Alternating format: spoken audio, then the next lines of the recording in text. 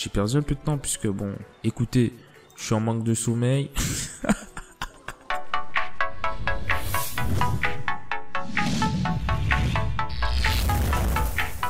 Et, c'est le 3, je Clash au Seasonatics, je se retrouve une nouvelle vidéo, tu l'as vu au titre, petite vidéo pour vous montrer trois decks incredible pour vous permettre de rush assez facilement euh, sur Clash Royale. Donc je fais cette vidéo suite à la dernière euh, parce que vous êtes nombreux à m'avoir dit que vous n'avez pas euh, de champion sur Clash Royale. Donc pour remédier à cela, je suis votre humble serviteur.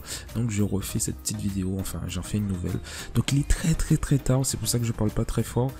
Euh, parce que j'étais en train de rush. Du coup, j'ai vu deux ces decks euh, vraiment incredible. Donc, je me suis dit euh, que je vais vous montrer ça in-game. Alors, on va en super défi, tranquillement. Euh, on va copier le deck. Voilà, 3.9. Alors, s'il y a une carte que tu ne possèdes pas, n'hésite pas à le dire dans les commentaires. Je te dirai pas quoi la remplacer, euh, tout simplement. Alors, pour ceux qui n'ont pas encore, euh, enfin, qui se sont pas encore inscrits pour le concours, enfin, je vais vous faire gagner un pass, en fait. allez checker ça sur la dernière vidéo. Donc là, c'est du Molos clonage. Franchement, je suis tombé contre ces decks. C'était vraiment incredible. les défenses, c'est vraiment horrible. Donc on va voir ça en ligne rapidement. Alors Nigo, c'est un deck vraiment très très fort. Attendez, je vais augmenter la luminosité de mon écran. Ok, parfait. Je sais qu'il est très très tard, mais ça n'empêche pas euh, qu'on est quand même au minimum de confort. Là, on n'est pas dans une salle de cinéma. Bon, on a un deck euh, vraiment au début, on va jouer contrôle, euh, tempo. Du coup, c'est pour ça que je balance rien pour l'instant. Je prends mon temps. J'aurais pu mettre le bûcheron sur le front, un peu comme comme si on était on était à la première guerre mondiale, mais là on va pas le faire. Bon, euh, peut-être qu'on n'a pas le choix, sinon euh, il veut pas jouer. Bon allez, on va mettre sur la ligne de droite. C'est vraiment pour... Euh, bon, si j'étais pas en vidéo, je l'aurais pas fait, j'aurais patienté. C'est juste vraiment pour éviter que ce soit trop statique. Ok. Bon, vous l'avez vu, les... j'allais vous dire, j'allais dire un truc. j'allais vous dire, vous, vous l'avez vu les refs alors que je parle pas comme ça. C'est juste que comme j'étais en train de regarder la, la série là de, de Netflix de Niska, enfin bref, euh, on se reconcentre sur CR. Dites-moi un peu si vous l'avez regardé. Moi j'ai trouvé, j'ai pas trop aimé. Franchement, j'ai pas kiffé. Mais bref, euh, je pense qu'on va mettre une belle BDF sur le dragon euh, électrique. Ok, c'est super. Ok, on connecte. Euh, J'aurais même pu euh, mettre le sort de clonage, mais euh, on va pas jouer aussi agressif dès le début. Là, ok, parfait. Je pense qu'il joue peut-être ballon. Ah mince. Bah, ici. bah, en fait, il s'est auto-mis dans la, dans la mouise parce que j'avais mis le mauvais timing pour stopper son, son bûcheron. Et du coup, il a ramené avec... Bon, alors là, on est presque arrivé au x2. Du coup, je mets le bébé dragon full map. Et s'il dépose rien, euh, je vais mettre le molos directement. Sinon, je vais mettre un. Ok, je mets le molos.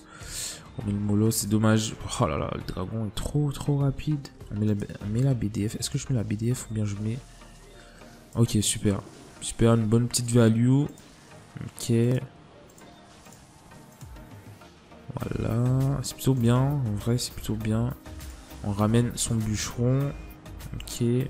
On va mettre les battes. Allez, machine volante fait le taf. Ok, super. Parfait.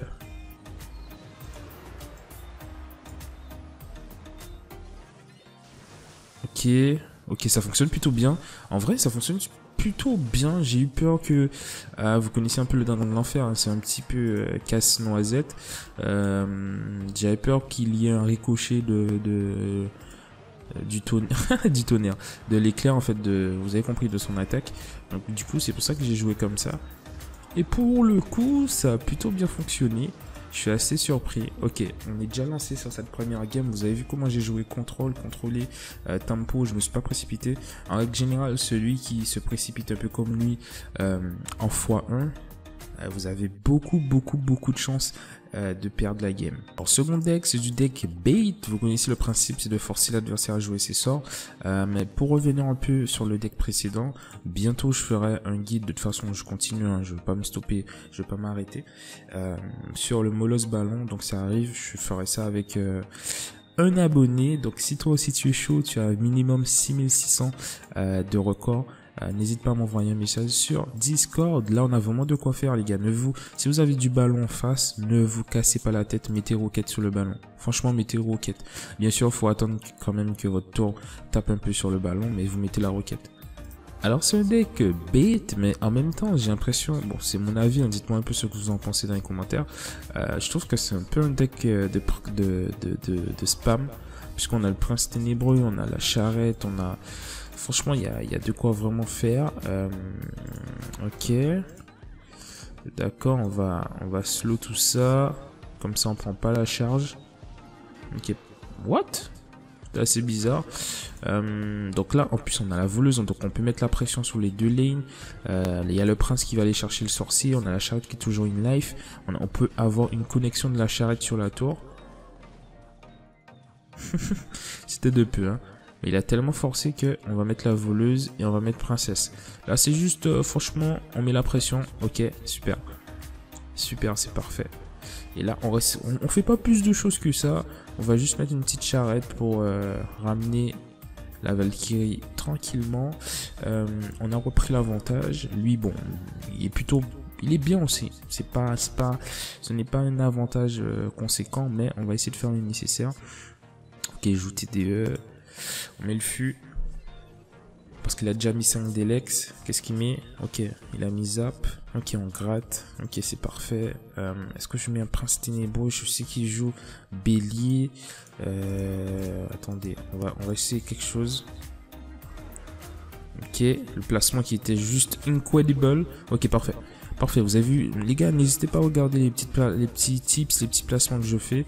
C'est pas des choses... Allez, là... Oh là là, la princesse, pourquoi t'as pas tapé sur... Euh, Oh là là. Ah, c'est dommage. Est-ce que je mets la pression?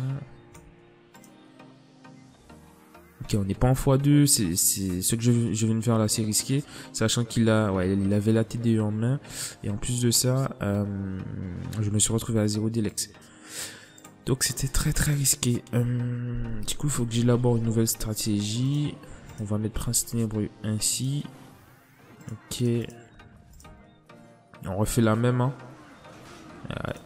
On change pas une équipe, qui gagne. on fait pas comme des champs, les gars. Enfin bref, on fait pas de polémique sur ça. Euh, allez, on met la pression, on est en x2. En x3, franchement, le gars, il va avoir flou. Il va avoir flou. Oh là là là là.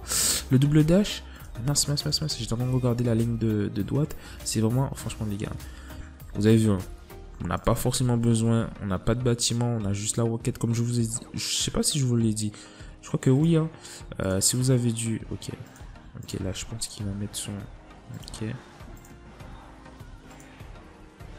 Ok, dommage, parce que c'est comme ça que j'allais arrêter son bélier avec le, le prince et... Euh, du coup, il faut que j'essaie de recycler. Ou bien s'il me donne... Ok, ok, on a plus le prince. C'est parfait. Ok, super, on a éliminé les battes. On va mettre la voleuse. Ok. Ok, parfait. Parfait, la voleuse qui finit. Franchement, c'est pas mal. Franchement, je valide. Comme je vous l'ai dit, c'est un deck, bah, vous connaissez le, deck bait, c'est un deck de pression de base. Mais là, on a vraiment un truc vraiment extrêmement euh, puissant puisque on a un deck vraiment deux en un puisqu'on peut mettre euh, euh, beaucoup de pression sur la sur la map. c'est vraiment incredible. Le dernier deck, c'est du GR, du Géant Royal Cycle. Franchement, pour les fans, je sais que franchement, j'essaie de de comment on dit ça, de de combler, de satisfaire tout le monde. Ce n'est pas facile parce que vous êtes vous êtes nombreux en plus vous êtes tous enfin vous jouez tous des decks différents vous avez voilà bref en tout cas là vraiment pour ceux qui jouent GR, l'indispensable c'est Foudre et Pêcheur, ça fonctionne très très bien. Là on a une version Cycle, encore une fois sans bâtiment, euh, donc on y go. Quand on a des decks comme ça qui sont très peu coûteux, vous savez déjà que vous allez faire très très mal en x2, x3. Donc ça sert vraiment à rien de se précipiter. Euh, voilà, là typiquement, typiquement, typiquement, on met Géant Royal à gauche. J'ai perdu un peu de temps puisque bon, écoutez, je suis en manque de sommeil. ah, j'ai pas, j'ai pas, j'ai pas infligé beaucoup de dégâts. On va voir ce qu'on peut, faire avec le, Attendez, attendez, attendez, attendez, je vais, je vais, je vais essayer un truc. Ok.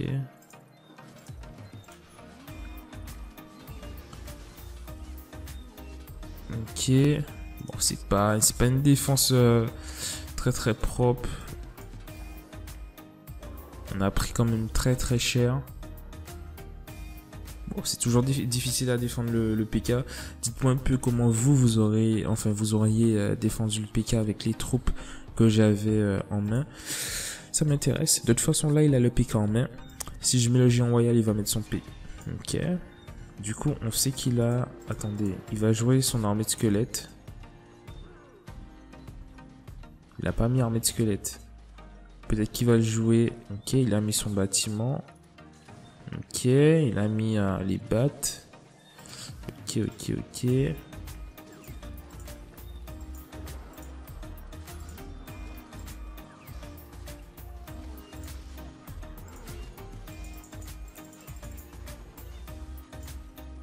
Oh mince Attendez, on a les petits squelettes. Ah, c'est bien joué ça. C'est bien joué. Vous, imaginez s'il met gel, clonage et tout comme ça euh, Ouais, c'est bien joué. Il a mis de grosses patates. Je me suis... Ouais, c'est bien joué. Franchement, il a repris l'avantage. Bon, après, c'est un Asiat, hein, les gars. Là-bas, ils ont des camps d'entraînement. Euh, ah, il est se connecter. Ah, mais c'est un malade. C'est un fou furieux. un fou furieux. Ok. On va mettre la pression. Non, on va pas mettre la pression puisqu'on a l'avantage. On va pas faire ça. Attends, voilà. On met fantôme royal. Super, le pêcheur qui ramène sur la tour centrale. Du coup, nous, on peut mettre géant royal. Et ensuite, s'il met l'armée de squelette, on met la bûche. Ok, parfait. Nous, on met le chasseur. Ça met une grosse pression sur la ligne de droite. On va attendre. Ok. Parfait. On fait revenir. On met une petite bûche. C'était pas nécessaire, mais c'était juste pour mettre la pression. Et voilà, on finit la game tranquillement. Franchement, en plus, on avait, on avait fait une petite erreur parce qu'on a voulu forcer à aller chercher la princesse avec le, la bûche. Mais on a su, euh, comment, comment dire, rester focus. Et comme je vous le dis souvent, tant qu'il y a de l'élixir, la game n'est pas finie. Donc je vous remonte cette tuerie. En plus, on a débloqué des, des maîtrises. Désolé les gars, encore une fois, pour ceux qui me connaissent, je suis assez dynamique. Mais là, il est très très tard. Mais je me devais de vous montrer ces trois decks explosifs. Euh, franchement, ils sont magnifiques. Vous avez vu, on a fait un sans faute. Euh, c'est vraiment électrique comme Electro Pirate.